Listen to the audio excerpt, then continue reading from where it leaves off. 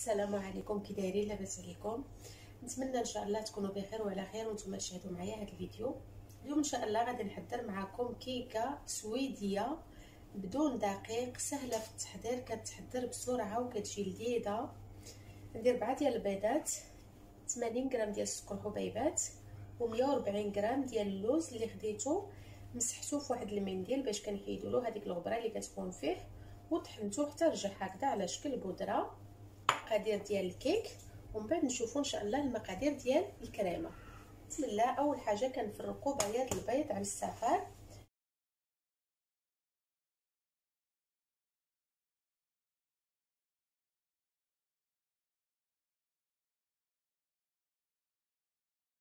غادي نزيد واحد الرشيشة ديال الملحة على بياض البيض. البياض غادي نستعملوه في الكيك. والسفر غادي نستعملوه في الكريمة غادي نحتفظ به جانبا. نبداو نطلعوا بياض البيض حتى كنرجع لنا على شكل رغوه وكنبداو نزيدو السكر بالتدريج بحال إلا كنحضروا واحد المغانك بسم الله.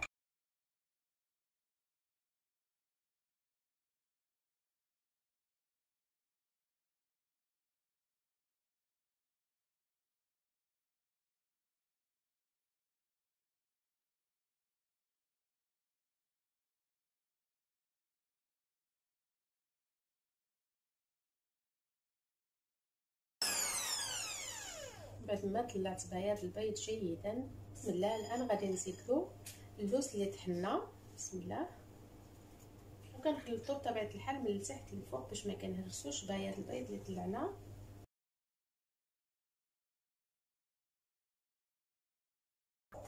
هذا هو القوام ديال الخليط اللي حسنا عليه. خديت المول اللي غادي نطيب فيه الكيك. القطر ديالو 20 سنتيمتر. دهنته بالزبدة ولبستو بورق الطيب ضروري ما تحترموا القياس ديال المول ما بين 18 حتى ل 20 سنتيمتر ما تفوتوش هذا القياس لأن الكيكة ما فيهاش الخميرة وما كتجيش طالعة بزاف.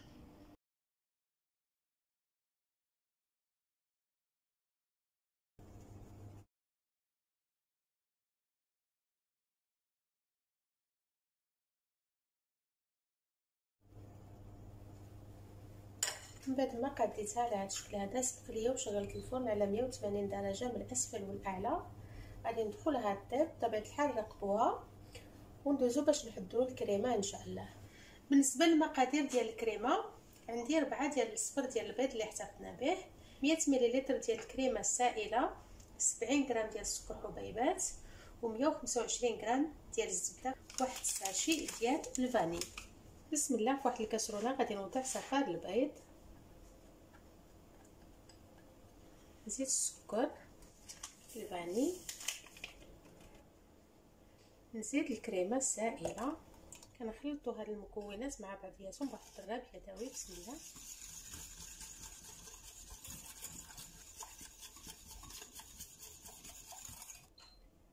غادي نشعل على الكاسرولة. على عافية. مهيلة.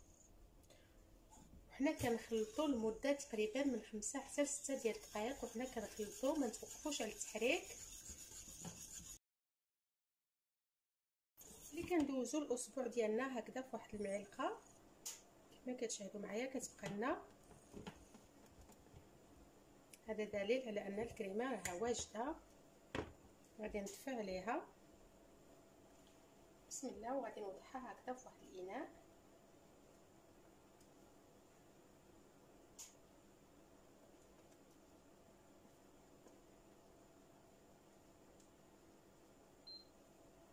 نغطيها هكذا بالسلوفان مباشرة فوق من الكريمة. ما كتشكلناش هذيك القشرة. بهذا الشكل هذا. نستنى عليها حتى تبرد. بسم الله.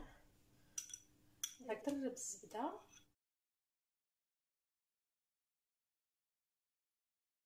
وغادي نبدي نزيد ليها شوية بشوية الكريمة اللي حضرنا واللي خليناها بردت تماما. ضروري ما تخليوها حتى تبرد مزيان.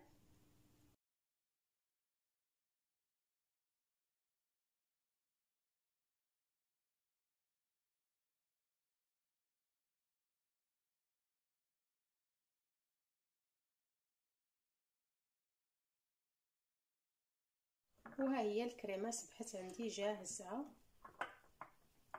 من بعد ما خرجت الكيك من الفرن كيف ما كتشاهدوا معايا ما كيجيش طالع بزاف. ضروري ما تحترموا القياس نتاع المول. ما بين 18 حتى ل 20 سنتيمتر ما تفوتوش هذا القياس. قيسها حتى بردت تماما وغادي نقسمها في النصف.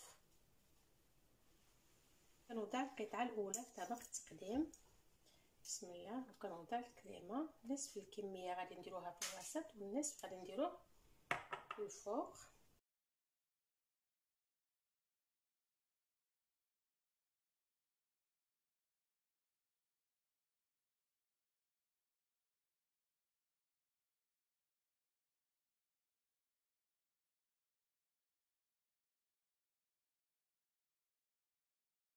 واخر حاجة عندي هنايا تقريبا 50 غرام حتى 60 غرام ديال اللوز افيلي اللي حمرته في الفرن.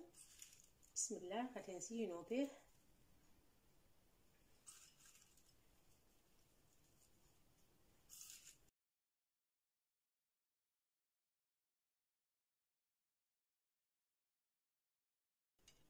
لا من بعد ما كملت لهاد الزين غادي نقطع لكم واحد الطريف باش فعلا كتجي رائعة وكتستاهل تجربة. وما فيهاش كثرة المكونات. بسم الله.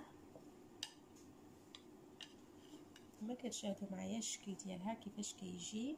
بسم الله. فعلا واحد الكيك إدمان. إلا جربتوه ما عمرو ما غادي تستغناو عليه. كيجي أكثر من رائع. نتمنى إن شاء الله الوصفة ديال اليوم تنال الإعجاب ديالكم. شكرا لكم. مع السلامة. فيديو جديد.